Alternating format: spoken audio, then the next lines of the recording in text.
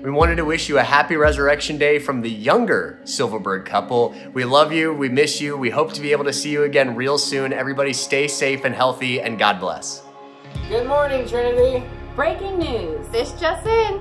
If you're wondering where the Lord is this very hour, he's alive and well with his resurrection power.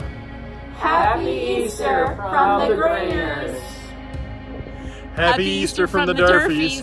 Hope everybody's staying safe and healthy. And we look forward to seeing you again sometime soon. Happy Easter from the Hickmans. Be wise, but don't be fearful. We miss you. We love you. Stay safe. See you soon. Happy Easter from, from the Jeffries. Jeffries. We love you, Trinity. Hi, Trinity. We're the Love Days. I'm Sharon. I'm Gabby, and this is Libby. And I'm Rusty. We hope everyone's staying safe and healthy during this time. We really miss you guys. And, and happy Easter. Happy Easter, Trinity. Kelly and Nikki Kinder here. We're just so glad to be able to celebrate this day with you. And we're just so glad we serve a risen Savior. Happy Easter, happy Resurrection Day, and we love you all. Mahraba, Keith Halcom. This is Robert in Vienna, Nage, also known as the Abu Andrews. And we would like to welcome you on this beautiful Sunday day of worship for Easter. We love you guys and miss you so much, and we can't wait to be back with you. You're our family. And we are praying for all of you. God bless. Hey TCC, Medley family here, wishing you guys a great Resurrection Day and hope you all be safe. We miss seeing your faces. He, he is alive! Shalom TCC, He is risen today. We sure wish we could be together to celebrate His resurrection today as we normally do in our services on Easter. But Lord, uh, we ask your blessing on your people and let them know today that He is indeed risen. Happy Easter. Happy Resurrection Day. Stay safe. We, we love, love, you all. Hello, everyone from the Weens family. And happy Easter, everybody. I love you and I miss you. Amen. He is risen. He is risen, risen indeed. indeed. Happy Resurrection Sunday, everyone, from the Line family. Hey, everybody. Mark here, one of the pastors at TCC and I'm welcoming you to our Easter morning service. And I've got good news for you. He is alive. We're so glad you guys are joining with us, and we also want to stay connected. You can take some pictures of what you're doing now, or how you're celebrating Easter, or what you guys have been doing in the community, and you can post them using the hashtag TCCKnoxStories. Also, we're going to be sharing communion together with the Lined family right after the sermon today, so you can feel free to get prepared for that. Right now, we have a message from our children's and youth leaders just before we go into worship. Happy, Happy Resurrection, Resurrection Sunday. Sunday. Good morning, Trinity. John and Laura here from uh, Brazen Station and Children's Church. We're so excited to be with you on this uh, victorious day. And uh, for all the kids out there, we hope you enjoyed the little gifts that uh, we were able to get this morning or whenever your parents gave them. Hopefully, you still have a few pieces of candy left and you've enjoyed them. And uh, hope you enjoyed the resurrection eggs, which Rob uh, put a video out earlier for that kids. We hope you enjoyed that with Mr. Rob singing and explaining how to use those resurrection eggs we delivered to you. If you missed it, you can look on the church's Facebook page or on their website. And now the Jeffries have something to share about the youth.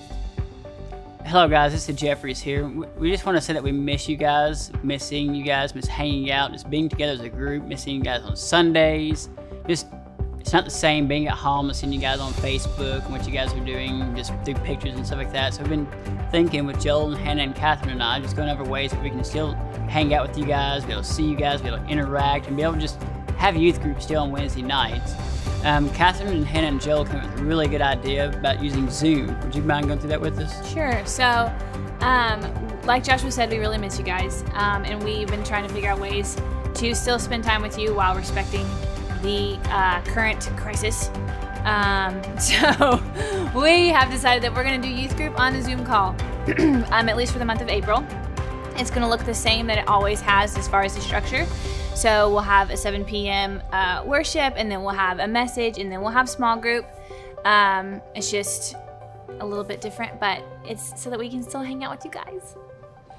And now we're going to enter into worship, not just would like for you guys to just stand or sit or whatever's comfortable for you guys. Just worship the Lord, worship Him where He's at, even though we can't be in the church gathering together, we can't be in the sanctuary, but He's still with you. He's still in the midst of this crisis. So if you don't mind, just stand up and enjoy worship.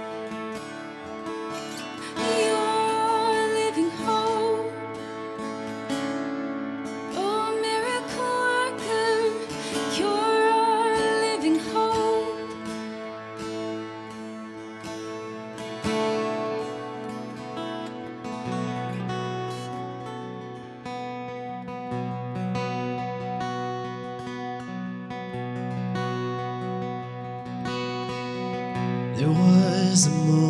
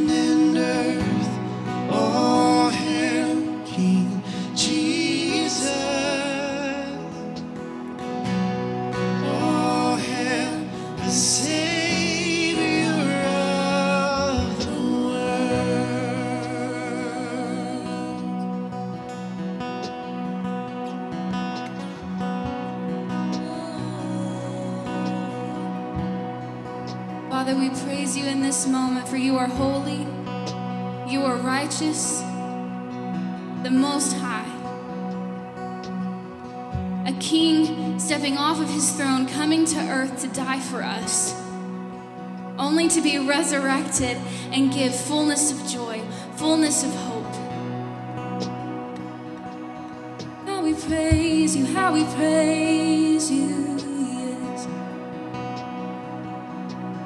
Senhor réu.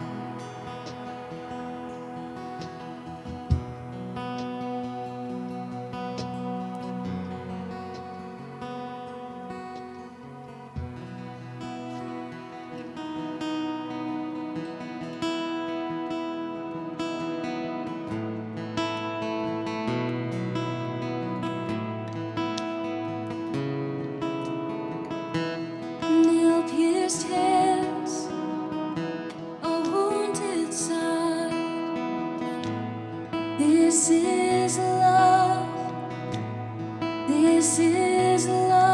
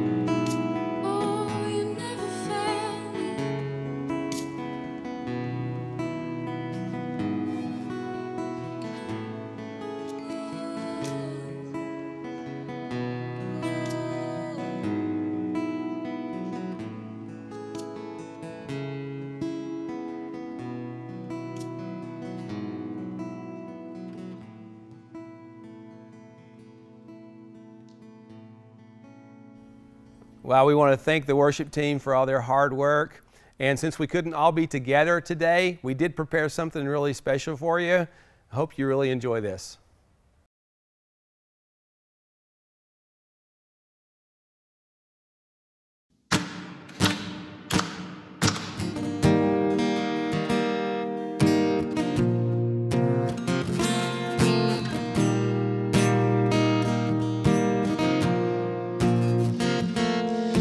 A reason why the curse of sin is broken.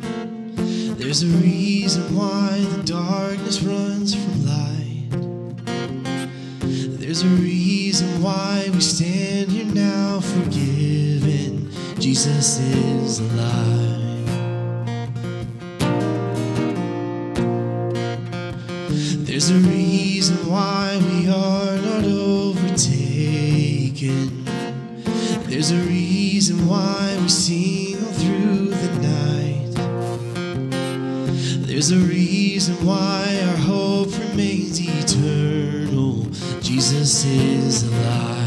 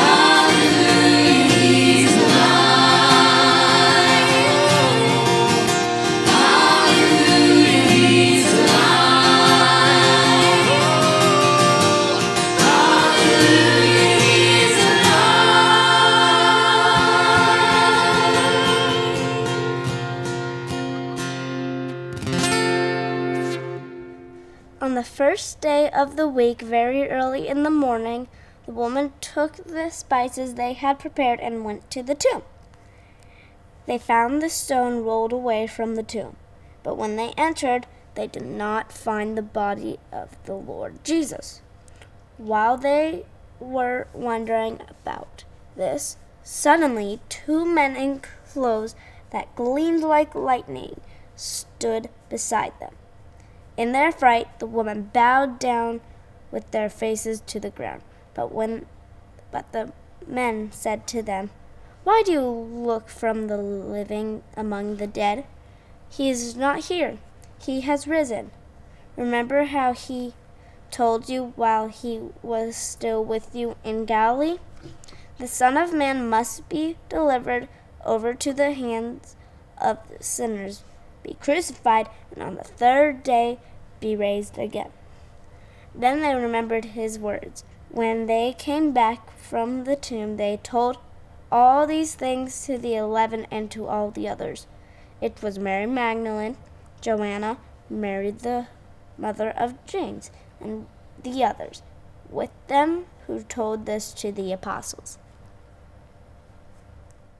Thank you, Elsie, so much for reading our scripture today. Boy, if there's ever a day we needed to hear some good news, these are the days, right?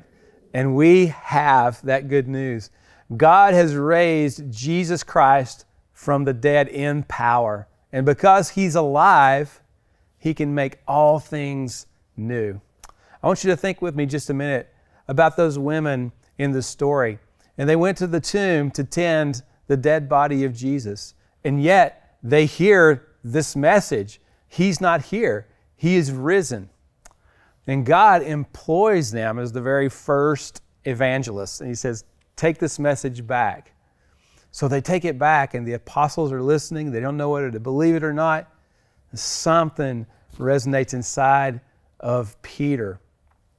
And Peter, who was in such a state of hopelessness because he had just denied the Lord, he had just let him down. He had just seen the one he'd put all of his hope in hang on a cross and be put in a tomb. And he was ready to just go back to fishing. But something sparked inside of his heart. This message of the resurrection broke through. It's like this message of hope flooded over the numbness in his soul and it washed out the doubts. And that message of hope was the resurrection of Jesus Christ. You know, many years later, Peter wrote a letter to some Christians who were suffering greatly. And here's what he said In his great mercy, God has given us new birth into a living hope through the resurrection of Jesus Christ from the dead and into an inheritance that can never perish, spoil, or fade. New birth, living hope is what we sang about this morning. Hope, hope is what this day is about. You know, hope is just a desire that you expect to be fulfilled. It's just expecting that something is going to turn out well. Wow, and the, the days we're going through right now, I mean, none of us really uh, have gone through a pandemic before. You, you know, it's like, how do we, how do we know what's coming next? And so many people have fearful hearts and they're just unsure. And yet, the scripture says to us that we have this hope as an anchor for our souls, firm and secure. We can be anchored in this crazy time because of the hope of the resurrection of Jesus Christ. And Paul put it this way if Christ has not been raised, our preaching is useless, and so is your faith. Can you imagine that? Even our faith, even what we say we believe, even the religious things that we do, is useless if Jesus hasn't been raised from the dead. Think of it. If Jesus wasn't resurrected, then all of his promises are false. And our sin still has power over us. And death is still an enemy to be feared. And where's the meaning of life? But Jesus is alive, He is risen.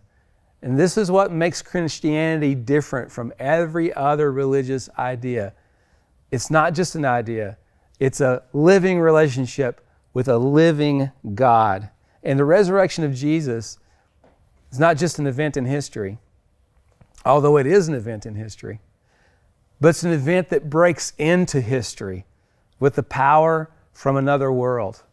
so that everything can be changed. And there's no good news if Jesus is dead.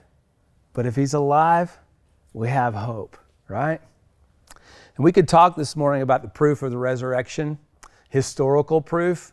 We could talk about Old Testament prophecy and how so many prophets foretold the fact that Messiah would die and be raised again to life. We could talk about the many historical witnesses. The Bible says over 500 people saw him alive after he had been dead and in the tomb. We could talk about the witness of the disciples who believed this message of the resurrection so strongly, they were willing to give their lives for it. We could talk about the millions of people over the 2,000 years since Jesus rose again who would testify. Many of you, along with me, would testify Jesus Christ is alive because he's changed my life. We could talk about all of that this morning in detail. But you know, Christianity is an experiential faith. What we believe affects our lives. And it should call us into some kind of a response. So I have another question I want to ask this morning. My question this morning is what does the resurrection of Jesus Christ mean to you and me today? I mean, let's get practical. What does it mean? And the first thing I would say is if Jesus is raised from the dead, we better take him seriously. And God is validating everything that Jesus Christ said about himself through his resurrection. Romans 1 4 says this As the mighty Son of God, he was raised from the dead and miraculously set apart with a display of triumphant power supplied by the Spirit of holiness. And now, Jesus is our Lord and our Messiah. You know, Jesus Christ spoke words like no other man ever spoke. He said things that were either true or completely outrageous. He claimed to have a unique relationship with God.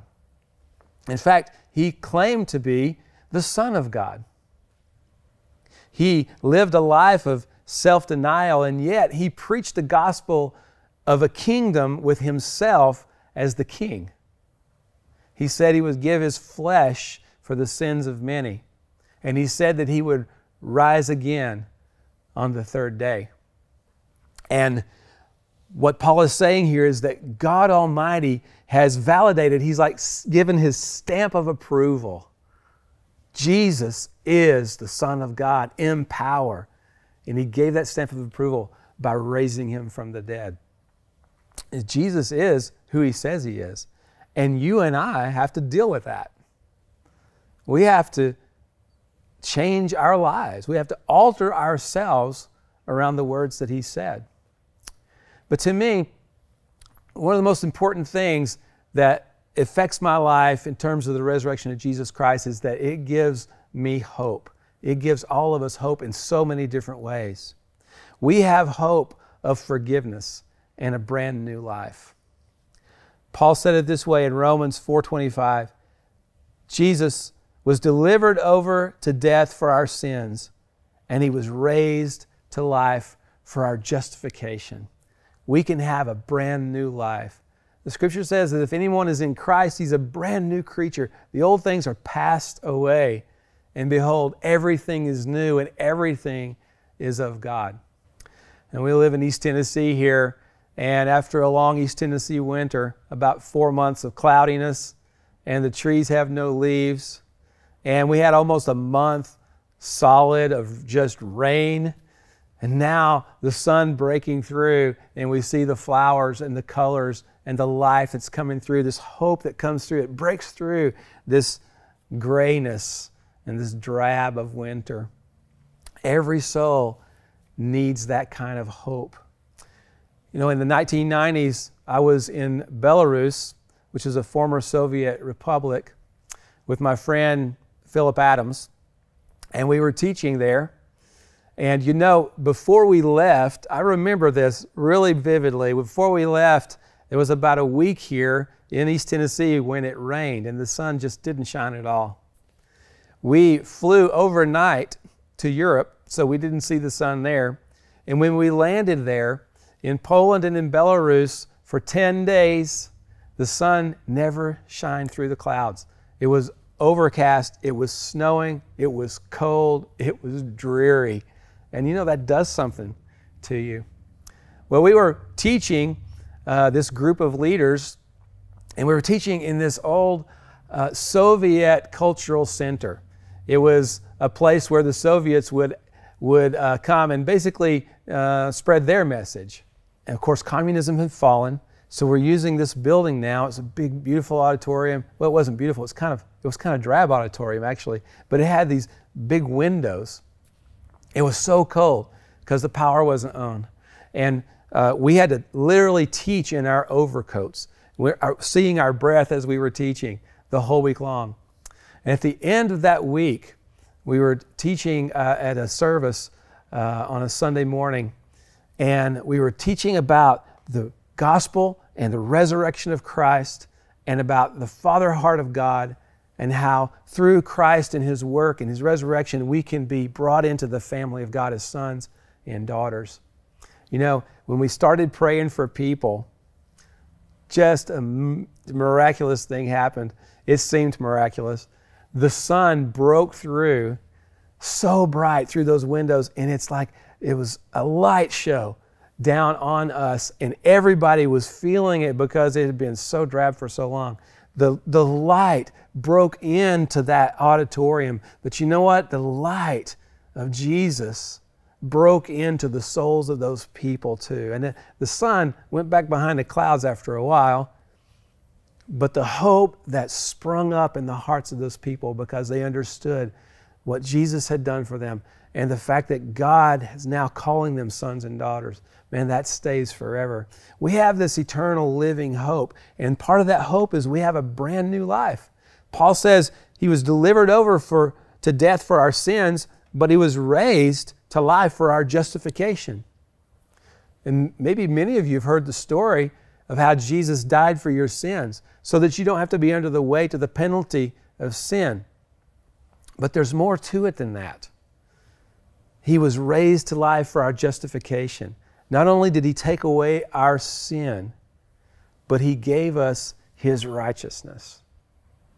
He's justified us. And justified means God Almighty, the righteous judge, declares me and you not guilty because of the work of Christ. That's good news.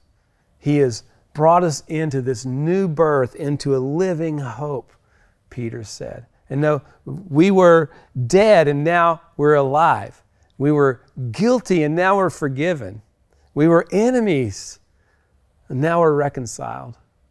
We were separated, but now we're brought into his family and adopted as sons and daughters. That's such good news. But there's more hope. We have hope to live in freedom from sin. Romans 6 4 and 14 Paul says this We were therefore buried with him through baptism into death, in order that just as Christ was raised up from the dead by the glory of the Father, we too may live a new life. For sin shall no longer be your master, because you're not under the law, but under grace. I can just tell you my story. Jesus Christ changed my heart. He changed my life and my desires. Before I came to Christ as a young man, I had many addictions. I was addicted to alcohol and to drugs.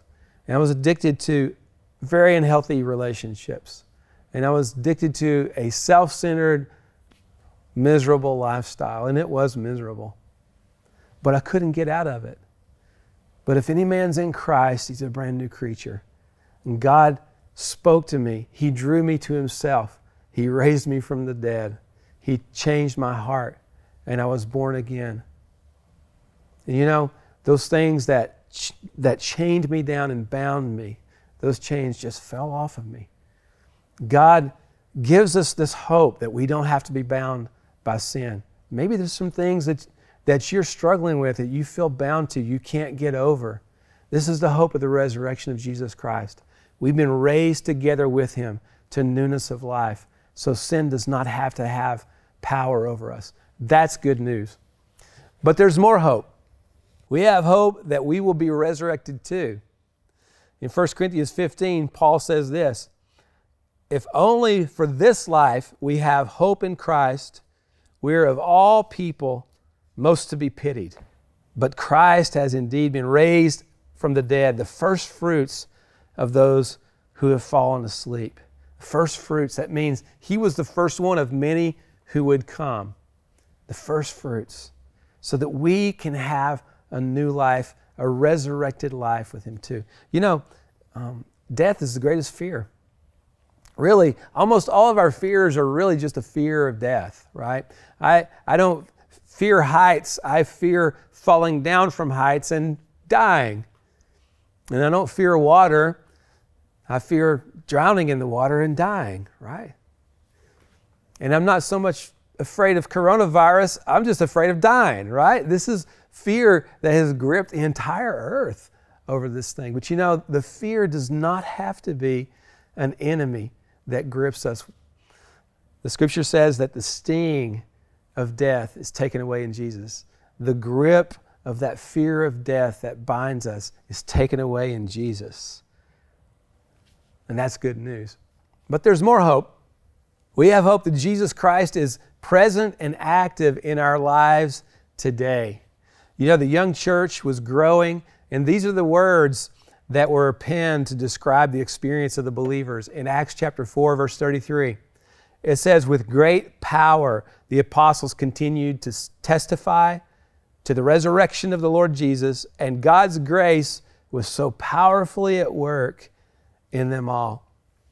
God's grace and power work inside of us because of the resurrection of Jesus. The living Jesus is alive today in his believers, among his believers, through his believers, through the ones who follow him.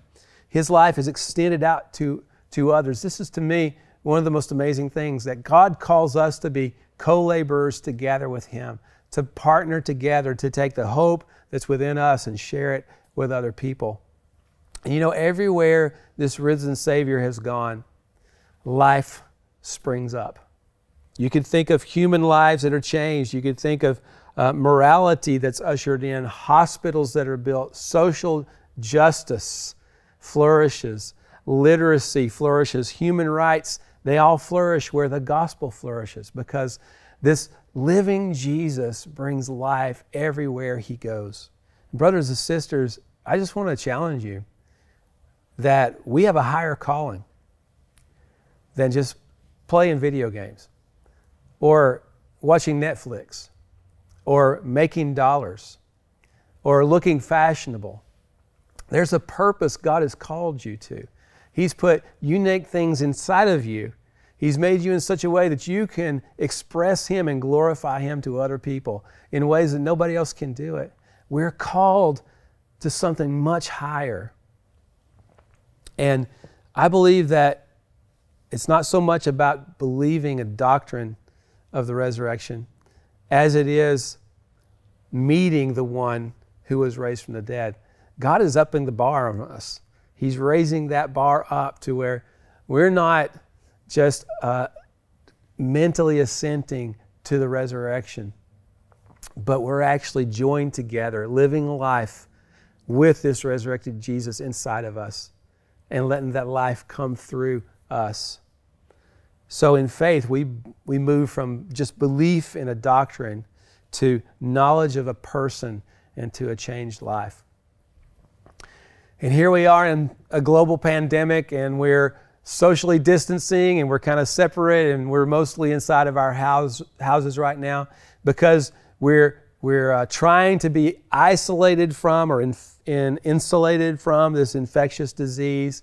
But I just want to remind you, as believers in Jesus, we are infectious. We can affect everything that we touch with the hope and the joy and the grace of God and the life that's in the gospel. So we're not just on the defense here, we're on the offense here. And God is doing something. He's alive, He's ministering right now in the midst of this pandemic. He wants to, to touch other people and He wants to do it through us. I'm reminded of the scripture in Isaiah 61. It says, Arise. This was a very dark time in Israel's history. But God says, Arise to his people. Arise and shine, for the light is come, and the glory of the Lord is risen upon you. And darkness will cover the earth. And he says, Gross darkness will cover the people. But God's light will arise upon you. And the Gentiles, the people who don't know God yet, will come to your light. Man, it's time for us to rise. Jesus rose from the dead. He's raised us up together with Him. And it's time for us to rise up and be light. You know, we can have the hope of being healthy people who can also help others become healthy too. And I want to end our time together this morning with the words of Jesus from John chapter 11, verse 25 and 26. You know, this, Jesus is talking to Mary here. Mary had just lost her brother. Lazarus had died. This was a really traumatic thing for her. It changed everything for her life. In that day, um, if the men of the house died, the women in the house were severely affected. So she was not only affected emotionally at the death of her brother, she was affected uh, economically. He wasn't there to work. They had to work harder now. Socially, he, and she was also affected spiritually because her faith was shaken. And she said to Jesus, If you were here, my brother wouldn't have died. And here are the words of Jesus to her Jesus said to her, I am the resurrection and the life. He who believes in me, though he may die, he shall live. And whoever lives and believes in me shall never die. Do you believe this? And I just want to ask you that question. Do you believe this? Jesus Christ is the life of God. He is the one that makes us able to live forever. Do you believe this? Now, you either fall into one of two camps, right? Either you do believe it or you don't believe it. If you do believe it, I want to encourage you.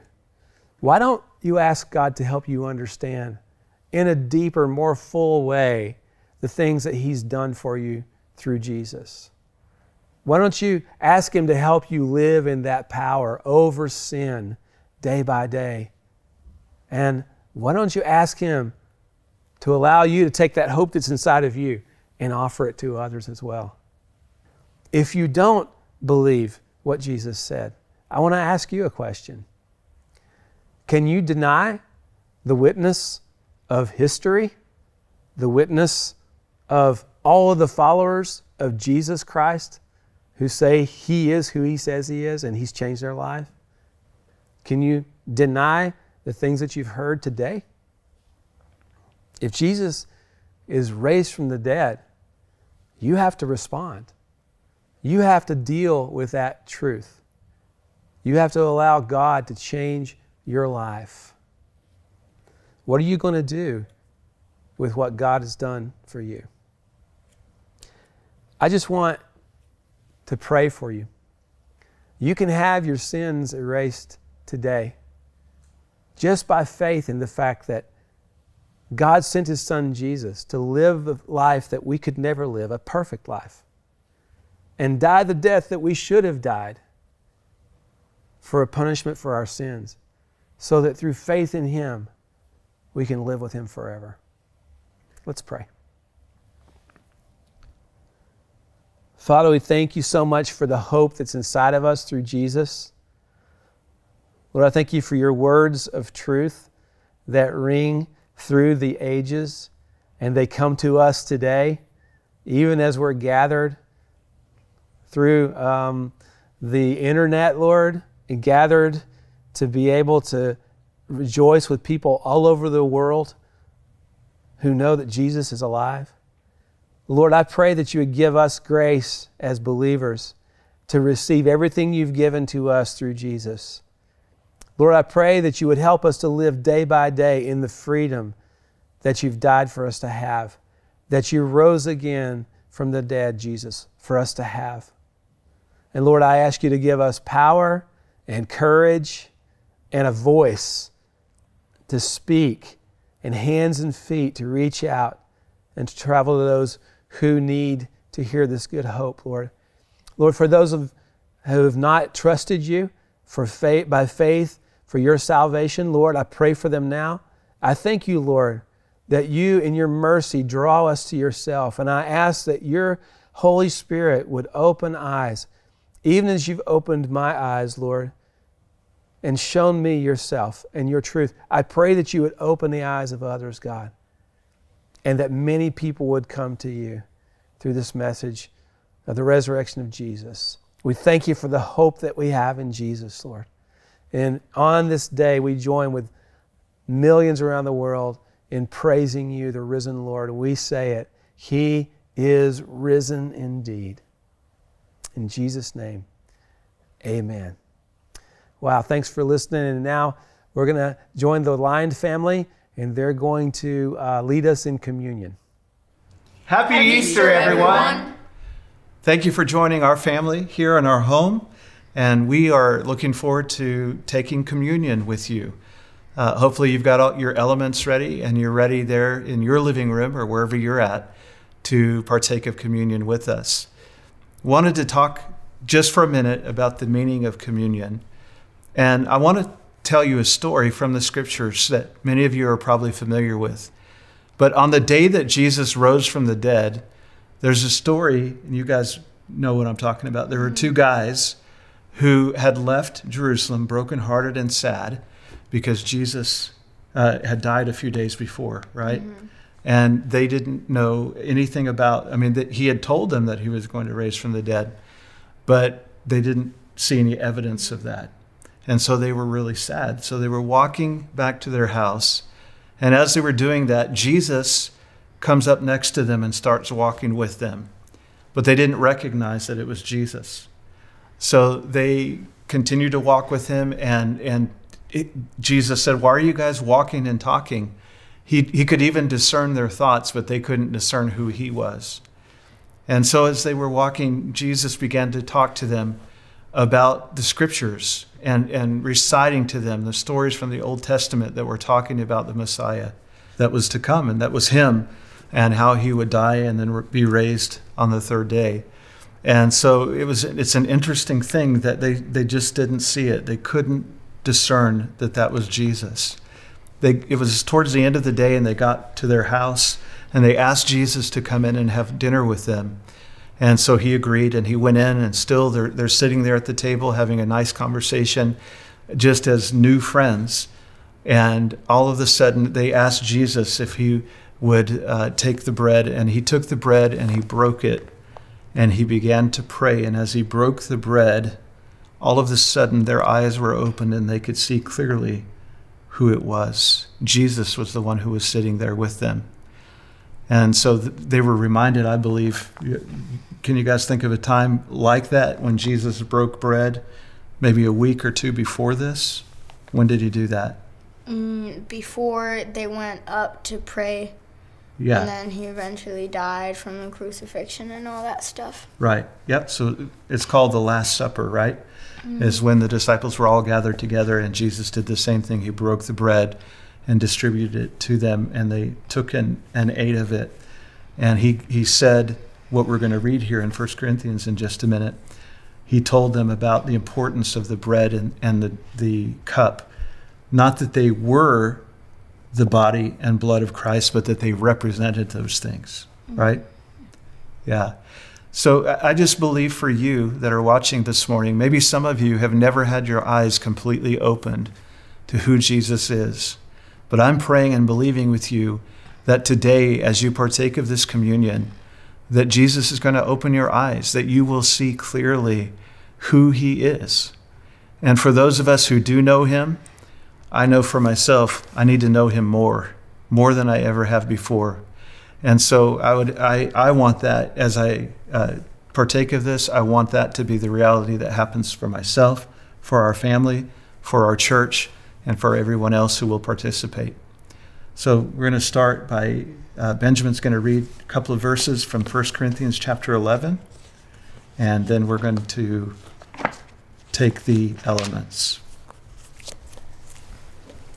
For I received from the Lord what I also delivered to you that the Lord Jesus, on the night when he was betrayed, took bread, and when he had given thanks, he broke it and said, This is my body, which is for you. Do this in remembrance of me.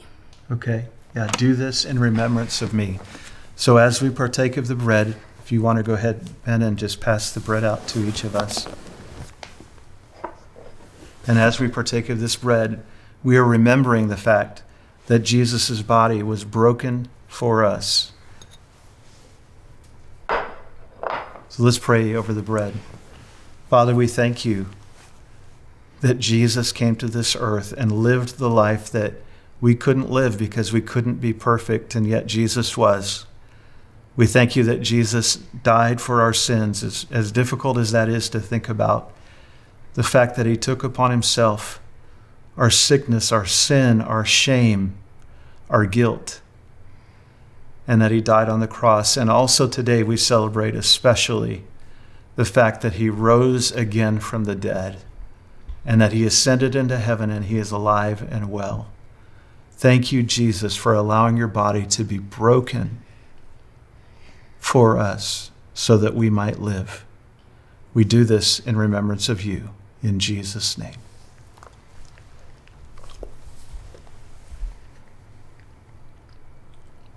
Thank you, Lord.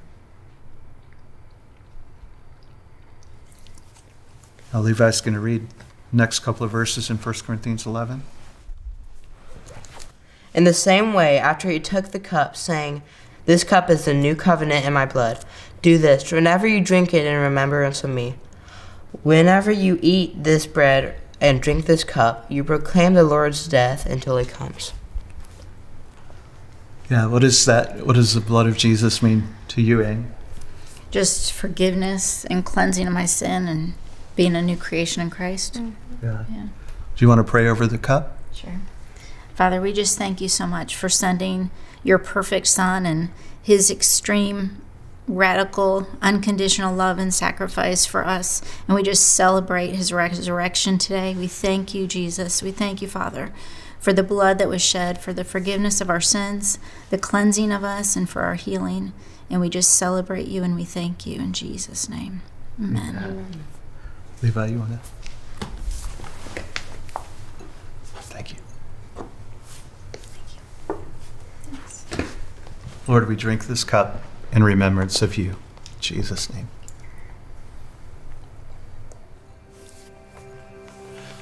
Thank you guys so much for joining us today. Thank you for joining our family in our home here, and we cannot wait, literally can't wait, until we can all be together again. And one thing for sure that we will do on that day is we'll take communion together as a body, and hopefully that will be sooner than later. But we're trusting God in that. So I want to bless you. May the Lord bless you and keep you. May he cause his face to shine upon you and be gracious to you. May he lift up his countenance upon you and give you peace in Jesus' name. Have a blessed day.